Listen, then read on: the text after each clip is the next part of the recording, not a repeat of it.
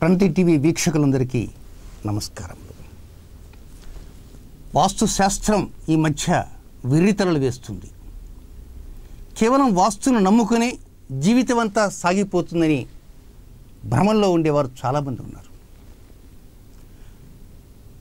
శాస్త్రీయమైనటువంటి పురాతనమైనటువంటి వాస్తుని గట్టు మీద పెట్టేసి అధునాతనంగా ఆధునికులు చెప్పేటువంటి సరికొత్త పోకడుల్లోకి వెళ్ళిన కారణంగా ఎన్నో సమస్యలు తెచ్చిపెట్టుకుంటున్నారు. అసలు ఈ తెలుగు రాష్ట్రాలలో గౌరి తిరుపతి రెడ్డి అనేటువంటి వ్యక్తే దీన్ని బహుళ ప్రచారం చేశారు. కాశ్మీర్ నుంచి కన్యాకుమారి దాకా తాను అన్ని ప్రాంతాలు తిరిగానని అన్నింటికీ వాస్తు చూసి ఈ ప్రకారం ఈ ప్రకారం దోషాలున్నాయని చెప్పినటువంటి గౌరు తిరుపతి రెడ్డి గారు తానే పప్పులో కాలేశాడు ప్రొద్దుటూరులో. చిత్రలిపి ప్రింటర్స్ అనేటువంటి సంస్థను ఏర్పాటు చేసి ఆ సంస్థకి ఆంధ్రప్రదేశ్ స్టేట్ ఫైనాన్స్ కార్పొరేషన్ ద్వారా లోన్ తీసుకొని తన అందరికీ నైరుతిలో బరువు ఉండకూడదు చెప్పినటువంటి ఆ గౌరవ తిరుపతి రెడ్డి గారు ఆ చిత్రలిపి ప్రింటర్స్లో ఈశాన్యంలోనే భారీ మిషన్ని పెట్టి చివరికి డబ్బు కట్టలేక అది జప్తు చేయబడే స్థాయికి వచ్చింది. ఆనాడు దానికి జనరల్ మేనేజర్గా ఉన్న గుప్తా గారు నాతో స్వయంగా చెప్పడం కూడా జరిగింది. అంటే కేవలం ప్రజలకు చెప్పడానికి మాత్రమే వాస్తవం అని అనుకున్నాను గతంలో ఈటీవీలో ప్రత్యేకంగా వాస్తుపైన ఒక రెండు కార్యక్రమాలు జరిగాయి. ఆనాడు యాంకర్గా పరకాల ప్రభాకర్ గారు ఉన్నప్పుడు గౌరవ్ తిరుపతి రెడ్డి గారు ఉన్నారు హేతువాదులు ఉన్నారు దాదాపు ఒక యాభై మంది సభ్యులు ఉన్నారు. గౌరవ్ తిరుపతి రెడ్డి గారిని సభాముఖంగా నేను అడగటం కూడా జరిగింది. ములుగు సిద్ధాంతి గారు కూడా ఆనాటి కార్యక్రమంలో ఉన్నారు.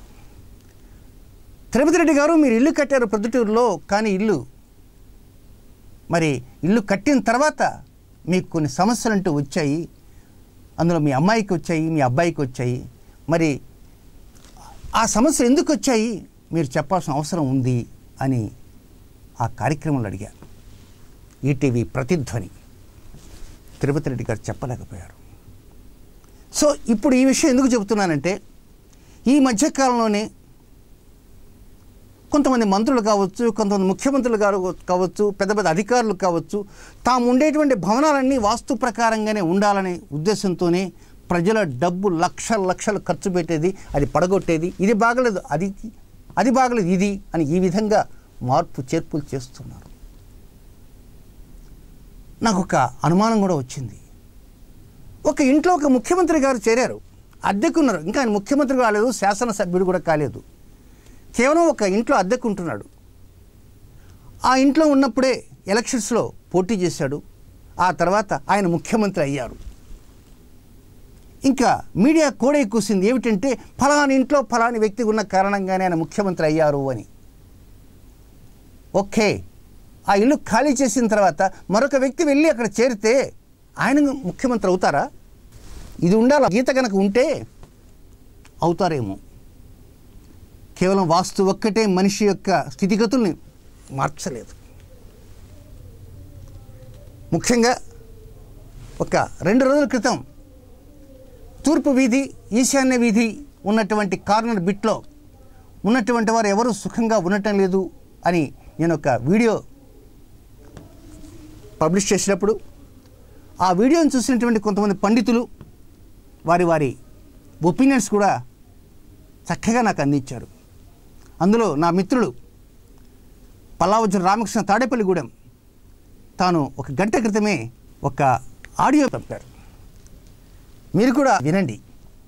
ఆడియో ఎవరిదంటే విజయవాడలో ఉన్నటువంటి ఒక పండితుల వారు కప్పగొంతు సుబ్బరామ సోమయాజులు గారు. ఆ ఆడియోని వినిపిస్తాను. మీరు కూడా వినండి. మనిషి సుఖపడుతున్నాడు అనే అంశంలో ఆ యొక్క విధానాలు మారినాయి. పూర్వం మనవడిని ఎత్తుకుని స్వయంగా ముద్దు పెట్టుకునేవాళ్ళు.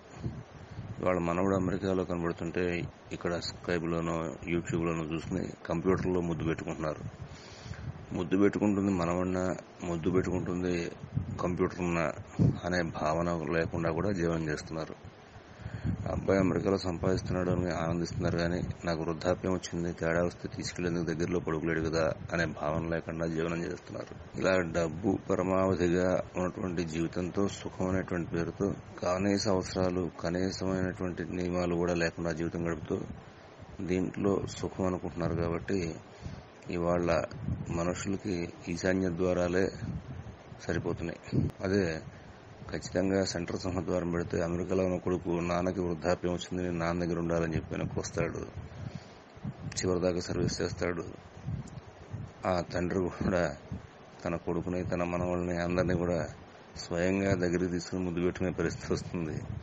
అది సెంట్రల్లో సింహద్వారం గృహాయతే నంద విభాగ భాజతే శరాంసకే దక్షిణ భాగమాధికం. ఆ సూత్రం ప్రభావం అంతే. అందువలన ఆధునిక వాస్తుకి ఆధునిక మనిషికి ఈ రెండు పోలికి సరిపోతాయండి. ఈ మనిషికి డబ్బు కావాలి. మమత అనురాగం ప్రేమ అక్కర్లేదు. కాబట్టి వీళ్ళకి ఈశాన్య ద్వారాలే కరెక్ట్. విన్నారు కదా? డబ్బే పరమావధిగా ఉన్నారు చాలామంది.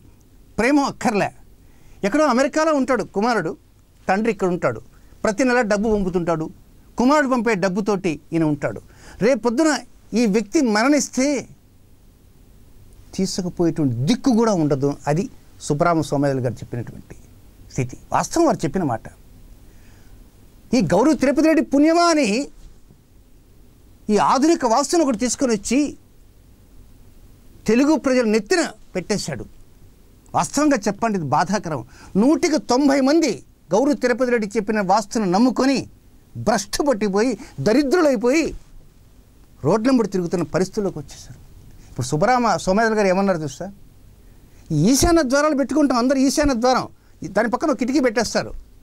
దానివల్ల ఏమవుతుంది? డబ్బే సంపాదించాలనేటువంటి ఆలోచనతోనే ఉంటారు తప్ప ఆ ఇంట్లో ఉండేటువంటి సంతానానికి తల్లిదండ్రుల మీద ప్రేమ అనురాగులు ఉండవు. బిడ్డల మీద తండ్రికి కూడా ప్రేమ ఉండదు. కానీ ఒక్క విషయంలో ప్రేమ ఉంటుంది. ఇంకా పంపలేదే? నెలాఖరైంది? ఇంకా రాలేదే? రేపు రోజు శాలరీ వస్తుంది? బ్యాంకులో పడిపోతుంది? అనే ఆశతో ఉంటారు.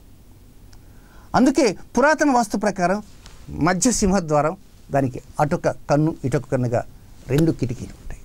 చూసారా ఆధునికులు ప్రవేశించిన కారణంగా శాస్త్రం భ్రష్టు పట్టిపోయింది తద్వారా ఎన్నో సమస్యలు అంటూ వస్తున్నాయి. ఇప్పుడిప్పుడే పండితులు కళ్ళు తెరుస్తున్నారు. ఇంకా తెరవలసిన అవసరం ఎంతో ఉంది?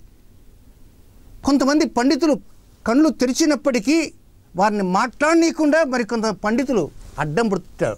ఏ మీకేం తెలుసండి? అండి ఈశాన్యం వీధండి ఈశాన్య కారణం రండి అంటారు. చూసారా కనుక ఎన్నో లోపాలంటూ ఉన్నాయి. అలాంటి లోపాలని ఎత్తి చూపుతూ మీ అందరికీ మంచి నిర్ణయాలు చెప్పాలనే ఆకాంక్షే ఈ శ్రీనివాస గారికి ఉంది. సో రాబోయే రోజులలో వెర్రితరుల వాస్తు వలన మీరు నమ్ముకున్నటువంటి కొన్ని నిర్ణయాల వలన ఘోరంగా నష్టపోతున్నారు. వాస్తురీత్యా అద్భుతంగా ఇల్లు కట్టుకుని దరిద్రులై ఆఖరికి ఇల్లు కూడా అమ్ముకోలేనటువంటి పరిస్థితిలో ఎంతోమంది ఉన్నారు. ఇప్పటికైనా కొంచెం జాగ్రత్త పడండి. ఇది వాస్తు గొప్పదా? ఇది గొప్పదా? ఇది గొప్పదా? లేక మన మనసు గొప్పదా? లేక మన మనసు గొప్పదా? మన బుద్ధి గొప్పదా? లేక మన బుద్ధి గొప్పదా? మన చేష్టలు గొప్పవా? మన చేష్టలు గొప్పవా? లేక వాస్తే స్థితి మాత్రమే గొప్పదా. ఒకదానికి ఒకదానికి ఏమైనా ఇంటర్లింక్స్ అంటూ ఉన్నాయా? ఇలాంటి ఆసక్తికరమైన అంశాలతోటి మంచి మంచి వీడియోలతోటి చక్కని ఉదాహరణలతోటి కొంతమంది పండితులు వారి యొక్క మనోభావాలని ఆడియోల రూపంలో మీ అందరికీ అర్థమయ్యే రీతిలో అందిస్తాను. తెలుసుకోండి. వాస్తును నమ్ముకొని జీవితాలు నాశనం చేసుకోవద్దు. వాస్తు ఎంతవరకు సరైంది? అంతవరకు తీసుకోండి. ముఖ్యమంత్రి గారు వాస్తు బాగలేదని చెప్పి అక్కడ ఏదో కొన్ని కోట్లాను కోట్ల రూపాయలు ఖర్చు పెడతారు. మన డబ్బే మీ డబ్బే. అది బాగలేదు ఇదని. అంటే గార్గే సిద్ధాంతి గారు మీరు ఏమైనా హేతువాదం మాట్లాడుతున్నారా అని మీరు అనుకోవచ్చు. నేను హేతువాదం మాట్లాడటం కాదు శాస్త్రీయమైన వాదనే మాట్లాడుతున్నాను అసలు వాస్తు శాస్త్రం ఏం చెప్పింది అనే విషయం గలిగిపోయింది ఆధునికంగా చెప్పేటువంటి మాటలు వచ్చాయి. మరి ఈ రోజుల్లో చాలామంది అనుకుంటారు ఏమండి మాకు లెట్రిన్ ట్యాంక్ అండి అటు ఉండాలా ఇటు ఉండాలనా ఇక టాయిలెట్ అండి ఆ మూల పెట్టామండి ఒక సిద్ధాంతి గారు వచ్చి అక్కడ కాదన్నారు. లేదమ్మా శాస్త్ర ప్రకారం ఇక్కడే పెట్టాలంటారు. ఏమిటి శాస్త్రం? శాస్త్రం అని చెప్పినప్పుడు లెట్రిన్ ట్యాంకులు ఉన్నాయా? చెంబు పట్టుకొని వెళ్ళి ఉండేవారు బయటికి ఒక కిలోమీటర్ రెండు కిలోమీటర్లు. ఏంటి కనుక రోజులు మారిపోతున్నాయి. భావాలు మారిపోతున్నాయి. వ్యక్తులు మారిపోతున్నారు. భావాజాలం మారి శాస్త్రమైనటువంటి ఒక ముసుగులో లోపాలు గమనించలేక ఆ లోపాల్లో చిక్కుకుని నాశనం అవుతుపోతున్నటువంటి వారి సంఖ్య కో కొల్లలు ఈరోజు భాగ్యనగరంలో చూస్తే అపార్ట్మెంట్ కల్చర్. ఓ సింహద్వారం ఉంటుంది దాని పక్కన కిటికీ కూడా ఉండదు. ఎవరు వచ్చారో తెలియదు. ఎవరన్నా నాకు చేస్తే తలుపు తీయాలి. లేదా ముందు పక్క ఏదైనా ఒక ఫెన్సింగ్ లాంటిది ఒక ఫ్రేమ్ లాంటిది బిగించుకోవాలి. ప్రతి అపార్ట్మెంట్లో ఉండేవారు ఎన్నో రకమైన బాధలతో మగ్గిపోతున్నారు. ఏమండి సిద్ధాంతి గారు మీరు ఇట్లా అన్నారు బాంబు పేల్చేశారే ఇంకా భాగ్యనగరంలో ఎవరు ఉండలేరేమోనే అని మీరు అనుకోవచ్చు. నేను బాంబు పేల్చాలని ఉద్దేశంతో కాదు కేవలం వాస్తు వాస్తు వాస్తు అనుకొని ఉన్న ఇల్లు అమ్ముకోవటము ఉన్నటువంటి స్థానంలో ఉండలేక అనవసరంగా ఈ తలుపు పగలగొట్టి ఆ తలుపు పగలగొట్టి ఆ సిద్ధాంతిని పిలిచి ఈ సిద్ధాంతిని పిలిచి ఇలా చేస్తూ వద్దు. ప్రశాంతంగా మీ మనసును మీరు నమ్ముకోండి. మీ మనసు చేసేటువంటి చేష్టల మీద ఏదైనా వ్యతిరేకంగా ఉంటే వాటిని కంట్రోల్ చేయడం ప్రయత్నం చేయండి. అందుకే ప్రత్యేకంగా రాహుకేతుల గురించి ఇరవై ఐదు వీడియోలు ఇస్తానని చెప్పాయి ఇవ్వబోతున్నా. ఎవరి రాహుకేతువులు? అవి కూడా త్వరలో చూస్తారు. ఈ శాస్త్రాలపైన ఉన్నటువంటి కొన్ని కొన్ని సమస్యల వలన మనిషి ఎదగలేక ఛిద్రమైపోతున్నారు. ఈ విధంగా ఛిద్రం కావడానికి ఎదగలేకపోవడానికి ఆర్థికంగా ఒకవేళ ఉన్నప్పటికీ ఎలాంటి సుఖ సంతోషాలు లేకపోవడానికి ప్రధాన కారణాలు ఏమిటి? ఇలాంటి ప్రధాన కారణాలకి వెనక ఉన్నటువంటి గ్రహ బలాబలాలు ఏమిటి? అవే రాహుకేతువులు అలాంటి రాహుకేతుల గురించి ఇరవై ఐదు వీడియోలు ఇంతవరకు దేశ చరిత్రలోనే ఏ సిద్ధాంతకు అందించలేనటువంటి అమూల్యమైనటువంటి సమాచారాన్ని మా ప్రణతి టీవీ వీక్షకులందరికీ అతి త్వరలోనే అందిస్తున్నాను. నమస్కారం.